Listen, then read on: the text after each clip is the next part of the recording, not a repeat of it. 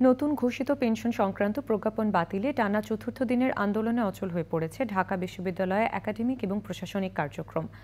আজ আওয়ামী লীগ সাধারণ সম্পাদক ওবায়দুল কাদেরের সাথে শিক্ষক নেতাদের আলোচনায় বসার কথা থাকলেও তা স্থগিত করা হয়। শিক্ষামন্ত্রীর আন্তরিকতা নিয়ে প্রশ্ন রেখেছেন শিক্ষক নেতারা। মিথিলা নাজমিনের রিপোর্ট। অর্থ মন্ত্রণালয় থেকে জারি করা পেনশন সংক্রান্ত প্রজ্ঞাপনকে বৈষম্যমূলক দাবি করে তা বাতিলে আন্দোলন করছেন ঢাকা বিশ্ববিদ্যালয়ের শিক্ষক, কর্মকর্তা এবং কর্মচারীরা।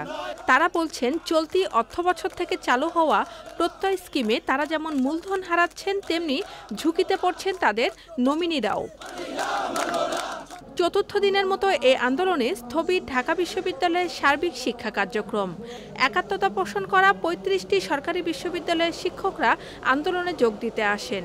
আমরা স্পষ্টভাবে জানাতে চাই, আমরা শিক্ষক আমরা নিজেরা যদি পার্সোনাল ব্যক্তিগত আমরা কেউ ক্ষতিগ্রস্ত হচ্ছি না। ওনারা যেভাবে ব্যাখ্যা দিচ্ছেন, যারা প্রমোশন পাবে তারাও ক্ষতিগ্রস্ত হচ্ছে না। কিন্তু বাংলাদেশে এই টার্সারি শিক্ষাকে ধ্বংস করার জন্য যে পরিকল্পনা করেছেন, সেটার বিরুদ্ধে আমাদের এই সংগ্রাম।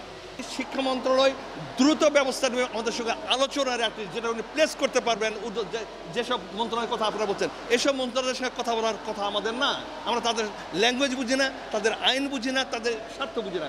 আমাদের সাথে আজকে যে সকাল এগারোটায় যে মাননীয় সড়ক যোগাযোগ ও সেতুমন্ত্রী মহোদয় জনাব ওবায়দুল কাদের সাহেব, আওয়ামী লীগের সাধারণ সম্পাদক কিন্তু সেই বৈঠকটি হঠাৎ করে আমরা সকাল দশটায় আমরা জানতে পারলাম যে মাননীয় প্রধানমন্ত্রীর সাথে বিশেষ পদ্মা সেতু সংক্রান্ত জরুরি বৈঠক আছে।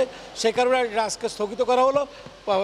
অচিরেই আমাদেরকে সে ব্যাপারে জানানো হবে কবে বৈঠকটি হবে। দাবি আদায় না হওয়া পর্যন্ত আন্দোলন চলমান রাখার ঘোষণা দিয়েছেন সংশ্লিষ্টরা। Mithila Nasnin channel I Dhaka. এখন জন্ম সনদ দিয়ে খোলো বিকাশ স্টুডেন্ট অ্যাকাউন্ট। নিজের বিকাশ নিজে কর।